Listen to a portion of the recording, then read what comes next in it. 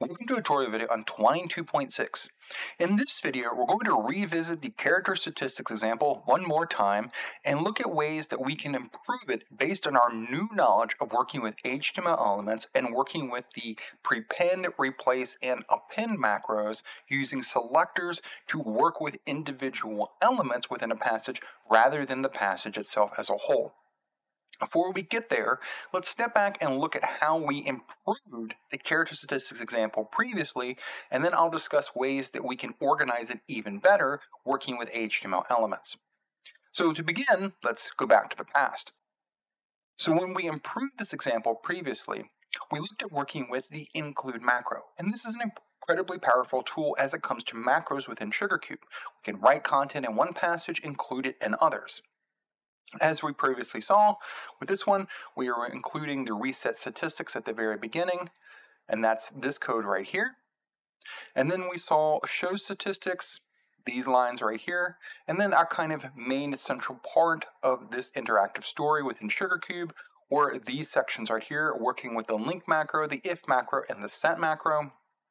And then we saw the include macro that every time we ran this, it included show statistics, which would show us the current values right here from this passage. And in case we reset, it would reset from reset statistics.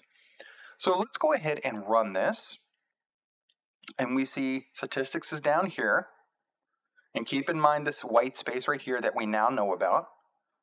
And we saw every time we click on this, the entire passage is refreshed. We'll notice just a little bit of blinking going on every time we do it.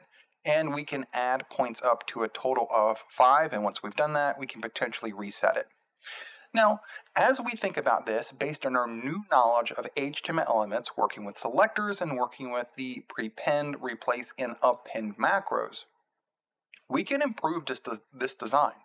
Instead of refreshing the entire passage every time we do an interaction, we can only refresh parts of the passage instead. Now, I want to preface before I get into the rest of this video by saying both approaches are perfectly valid. We can potentially refresh the entire passage, that's a completely valid approach. Alternatively, and as I'll discuss in this video, we can take a second approach by working with HTML elements, selectors, and corresponding macros to only refresh or that is replace content in a particular element rather than the entire passage itself. Again, both approaches are perfectly valid, just up to the author about how they want to do each thing. I will also say that in the second approach I'm about to cover, it's more complicated and requires understanding multiple concepts simultaneously. So if you feel a little better using this particular approach where you just refresh the entire passage, perfectly fine. If you want a slightly more technical but slightly more efficient approach, as I'm about to cover, it's also perfectly fine. We saw in this previous example, working with the include and set and if and particularly link macro. Now I want to note something before I jump to the new version, which is this right here. Every time we were clicking on something, we were transitioning to corresponding passage, which was the exact same name. Now, in the new version, which I'm about to jump to, I didn't do that. In fact, I don't use this pattern at all. I again work with HTML elements to achieve a similar effect. So let's go ahead and jump to the new one. New one looks like this. Again, same four passages, same four names, slightly different design. Now, before I go too far, let's kind of talk about each of those three passages and then work our way backwards to the statistics passage. So right here at the beginning, I'm working with the backslash or line continuation in SugarCube based on our new knowledge we gained between the previous version where we looked at this and now this current version. So now the statistics link will be at the very top instead of down the page a little bit or down the passage. Over here in reset statistics, I'm also now using the silently macro around these three usages of the set macro. Remember, we have three different approaches to working with white space in SugarCube. We can use the silently macro that ignores all output. We can use a line continuation, which I just showed in the previous start passage, or we can use the no BR, no break rule macro to condense the break rules or break lines at the end of each line down to single spaces. In both cases now, I'm using two of these three different approaches. In the start passage, I'm using line continuation, so the include passage line and the link are on the same line, at least as far as SugarCube is concerned. Here, I'm saying ignore all output. The set macro doesn't produce output, so this works perfectly fine. Now, the main emphasis of this will be in statistics, but let me show this one last passage. Again, show statistics is exactly the same as it was before. Statistics, though, this passage has gotten much more complicated. Notice there are additional lines of code. So this right here is pretty similar to what we just saw, it's working with the link macro, the if macro, and the set macro. The new addition though is this right here with the replace macro and then the include macro inside the replace macro. And notice that this is looking for some element with the ID of statistics. Again, we use the hash for ID, the period for class or classification, hash for ID for identification. So what is this looking for? Well, let's scroll all the way down to here and we notice there is a div, a division element, with the ID of statistics, and this is brains, brawl, and points, which is what show statistics is. Well, now look at this interesting thing. Every time this link is clicked, it will replace whatever the current contents is with show statistics. Show statistics is over here and has variables in it. So it will replace, SugarCube that is, will replace the value of the variables when it understands the include macro working with the replace macro. Put another way, this is a interesting pattern we can engage with within SugarCube to use the include within the replace to refresh the content of certain sections of a passage rather than the entire thing. Notice I'm also repeating this pattern again right here for the minus. So this is plus and this is minus. This is plus and this is minus.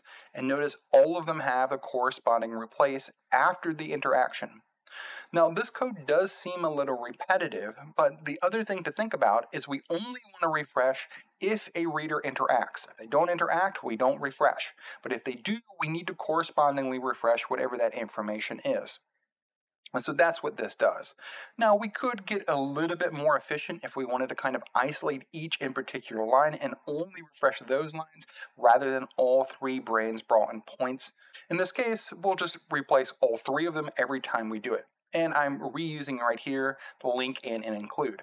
So let's look at this in practice. This will look very, very similar, but slightly more efficient. So notice we fixed the corresponding whitespace issue, again, using our knowledge of line continuation, continuing the include with the link, fixes that. And then notice all of this is now lined up. So these three are lined up, but notice we're not going to see a blink. Notice instead of refreshing the entire passage using a passage transition as part of the link macro, we are instead now using the replace macro in connection with the include macro. Again, a much more advanced pattern and relies on multiple concepts that we've seen here. Not only HTML elements and their selectors, but also working with the include macro and understanding how passages connect to each other. But now in this revisited character statistics, we can also subtract. Notice we can't go beyond a certain point or add. But notice we're not seeing that blinking effect. But as I said earlier in the video, if we wanted to do that particular method, perfectly valid. This is a, just an alternative approach. It's slightly more efficient. Again, refreshing only sections of a passage or sections of a page instead of the entire passage each time. But notice we can add or subtract as long as our numbers all add up, or correspondingly reset. But notice reset does the whole thing. Alternatively, I could have changed to reset to do the exact same thing, but I left it as is.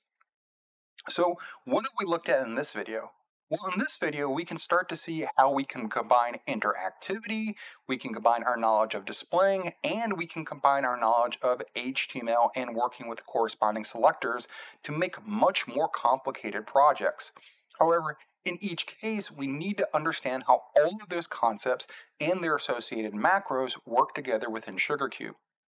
We could not have started here with our initial character statistics because of all the kind of complicated concepts we needed to understand to even get to this point.